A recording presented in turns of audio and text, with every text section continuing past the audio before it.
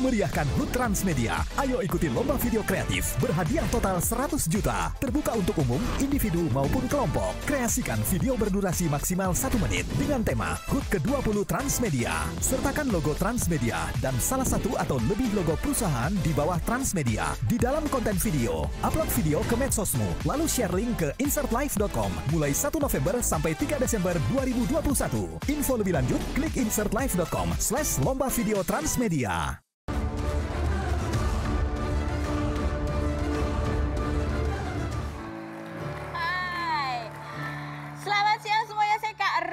Hari ini kita ketemu lagi di acara Romping No Secret Mwah. Hari ini saya ada tamu-tamu cantik-cantik Sudah ada dua yang menunggu, ada Haruka dan Melody Tapi sebelum kita ngerumpi sama mereka, kita kebojokan dulu ya Untuk membahas berita-berita yang hot, baik yang datang dari dunia nyata maupun dari dunia maya. Oke, ada berita apa? Eh, ini sebenarnya beritanya ya hitungannya hot aja gitu karena eh, ngeselin banget ya. Ini postingan dari Vega Darwanti ya. Vega Dar, jadi ada orang gitu ya ngaku-ngaku Vega Darwanti pakai pic profilnya begini. Ada nomor teleponnya nggak tuh ya? Coba dilihat nomor teleponnya.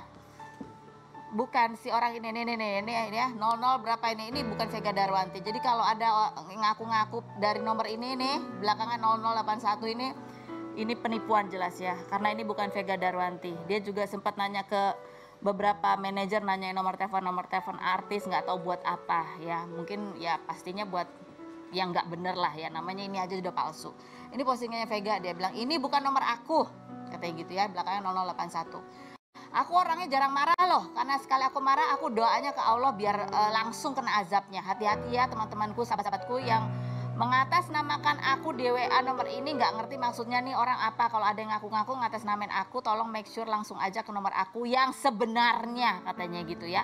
Jadi kalau belum punya nomornya Vega nanti kalau ketemu Vega minta langsung sama orangnya gitu ya. Jangan percaya sama orang yang WhatsApp WhatsApp nanya "No- nomor ini dari si ini tanya nomornya ini dong nggak ada ya nggak ada. Ketemu orangnya langsung aja baru catat nomornya ya. Eh, ini sempat dia juga WA ke manajernya Fani Gazani. Ini contohnya nih gini ya. Dia eh, eh, di nge-DM kalau nggak salah ya nge-DM bilang ini Vega gitu ya eh, mau nanya dong nomor teleponnya si eh, Fani gitu gitu gitu sama. Ini orang yang sama juga eh, WhatsApp ke manajer aku ya, gitu ya. Jadi kalau ketemu saya golok.